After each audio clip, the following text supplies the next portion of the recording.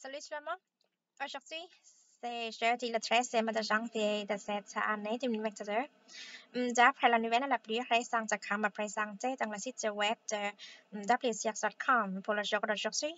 on peut entendre parler de ce que le président Joe Biden des États-Unis voudrait réaliser pour tous les Américains des États-Unis dans la bataille contre l'étendue du virus corona dans la nation des États-Unis en général maintenant. Um, en parlant de cette matière, d'après la nouvelle, on dit que um,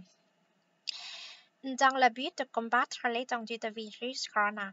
spécialement l'étendue du virus corona sur l'impact des plaisants d'une nouvelle version Omicron de virus corona dans la nation des États-Unis en général maintenant. Le président Joe Biden des États-Unis voudrait vulgariser des paquets gratuits contenant des outils nécessaires concernant se faire soumettre à des tests de virus corona chez soi, destinés à tous les Américains des États-Unis de telle façon que il voudrait doubler la quantité de 500 millions de paquets comme prévu jusqu'à un milliard de paquets um, destinés à tous les Américains dans la nation des États-Unis. Um, pour ce faire, on dit que um,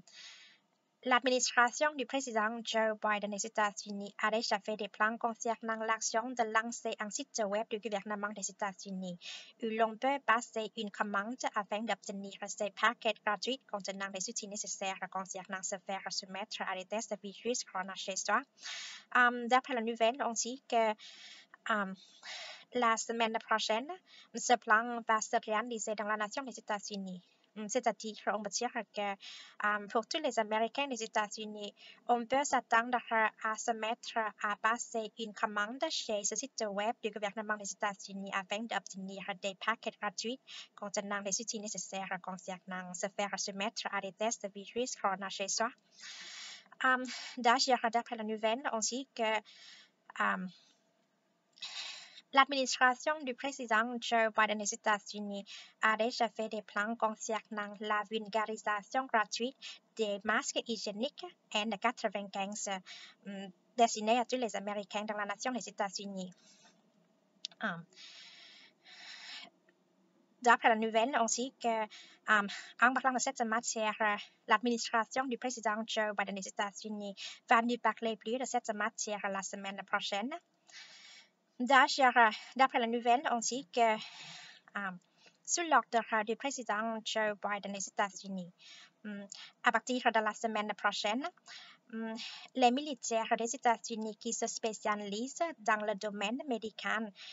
vont se mettre à se présenter dans quelques États de la nation des États-Unis tels que Michigan, New Jersey, New Mexico, New York, Ohio,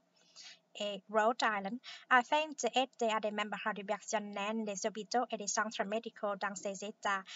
ceux qui ont souffert d'un manque de membres du personnel, car